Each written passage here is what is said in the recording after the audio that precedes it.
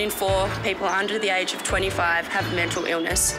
And I encourage anyone, if they do need help, that there is a really safe place in Headspace to go. I wouldn't be where I am today without the help from Headspace. They took me in as family, not just as a person who's going through struggles, but as someone that's a friend.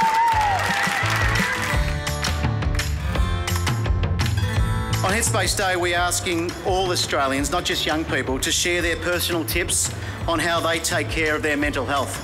For young people who are going through a tough time, we want to provide thousands of ideas, either through online social media or through here today, or at the various Headspace Centre events around the country, about what people do when they're perhaps not in a healthy headspace. Happy Headspace Day!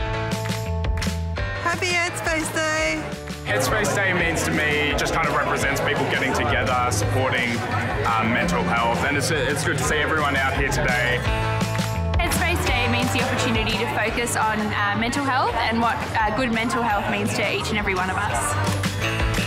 Headspace Day is a brilliant day that really just brings awareness on mental health, which is such an important issue for our community.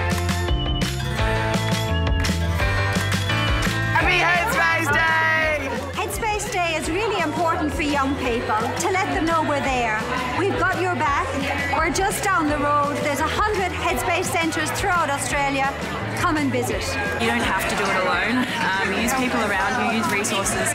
Um, get help because that's how you can achieve your dreams.